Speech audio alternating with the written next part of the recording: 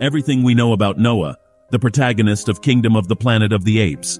We are less than a month away from the premiere of Kingdom of the Planet of the Apes, a movie that will try to reboot this universe and expand the stories of Caesar's descendants. But what do we know about Noa, the main character of this new story? Will he be a descendant of Caesar? Is his fight one of revenge? In this video, we'll be talking about everything we know so far about Noa, and all the theories surrounding this character, in preparation for the release of Kingdom of the Planet of the Apes. And for more videos from this universe, don't forget to subscribe to this channel. Welcome to the Oasis Geek. Let's first talk about Noa's origin. He belongs to a unique and fascinating tribe known as the Eagle Clan. This ape community is distinguished by its close connection to nature and its dedication to preserving ancient traditions and rituals. Unlike the technologically advanced tribe led by Proximus Caesar, the Eagle clan has opted for a simpler lifestyle, living in harmony with the natural world around them. Their existence revolves around peaceful coexistence with the elements and the creatures that inhabit their environment. One of the most significant rituals for the Eagle clan is the process of taming eagles. This ancient rite of passage is central to their culture and is considered an important point in the life of every member of the tribe. Through this ritual, the apes not only demonstrate their bravery and skill, but also forge a deep and lasting bond with these majestic birds. Mastering the eagles is no easy task and requires patience, understanding, and respect for nature. Clan members must learn to communicate with the birds, gain their trust, and form a symbiotic relationship based on mutual trust. This process not only allows the apes to take advantage of the eagle's hunting skills and keen eyesight, but also gives them a sense of identity and belonging within their community.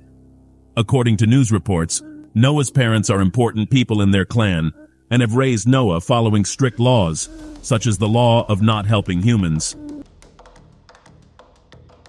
We also know that the Eagles clan is one that has isolated itself from Caesar's teachings, that they don't know what happened in the past, and they view reality from a more mystical point of view. Noa is unaware of the world. He only knows what his parents have told him. The Eagle clan inhabits trees and houses created in nature. However, they represent a problem for Proximus Caesar. Proximus Caesar will be the villain in the story and is perhaps the most interesting character in this film. He is an extremely intelligent bonobo who has studied the history of humans since their inception. The Eagle clan represents a threat to Proximus Caesar's desire for expansion, who carries Caesar's banner and wishes to expand his ideology in the world. Now according to what we know, Noa's tribe will be attacked by Proximus Caesar's tribe, and this will cause many people from Noa's family to lose their lives. According to some scenes released at the CinemaCon, it was revealed that Noa's parents suffered the attack of Proximus Caesar. The mother is kidnapped, and the father loses his life. This will happen at the beginning of the movie. Then, Noa will have to go to a place that until then had been off limits to him, the Forbidden Zone. According to the Eagle clan, humans and apes cannot coexist because humans are destructive. Ape law forbids them from interacting or allying with humans. However, Noa will meet Raka. Raka is a historian ape who is possibly part of the Proximus Caesar clan. This ape is protecting Mae, an intelligent human who has also lost everything. As someone who possesses extensive knowledge about the history of apes and humans, Raka is in a unique position to guide Noa and reveal to him the true history of Caesar. Raka is likely to act as a mentor figure for Noa, helping him understand his place in the grand scheme of things and the meaning behind the mark on his chest that connects him to Caesar. Through Raka's teachings and wisdom, Noa could begin to understand the importance of his lineage and how Caesar's actions have shaped the world they live in. Raka could share with Noa Caesar's struggles and triumphs, highlighting his focus on peaceful coexistence and mutual understanding between apes and humans. These lessons could be pivotal for Noa to develop his own approach, to deal with Proximus Caesar, and the challenges that await him. In addition to being a source of knowledge, Raka could also serve as a moral compass for Noa. As someone who has chosen to protect Mae, an intelligent human, despite his own clan's beliefs, Raka demonstrates compassion and an open mind. In a revealed scene, we could see that Raka gives Mae a blanket, but Noa didn't want to give it to her. Both Proximus Caesar and Noa despise humans. But it will be in Raka's hands to convince Noa to choose a different path, Caesar's path. Both Noa and Mae have lost their families, and possibly will fight against Proximus Caesar for the same reasons.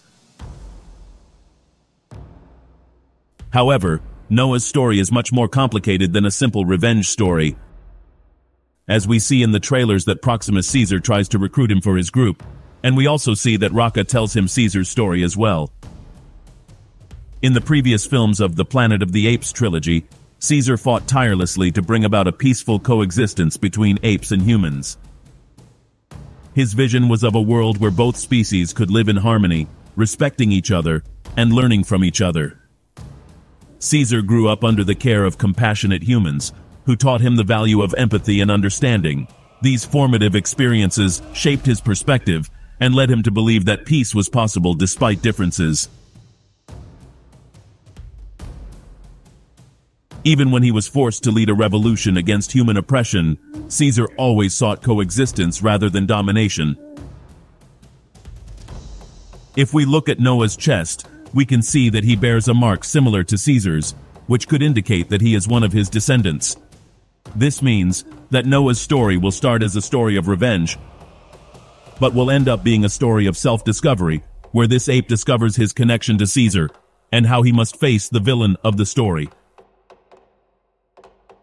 This means Noa's story will start as a story of revenge and contempt against humans.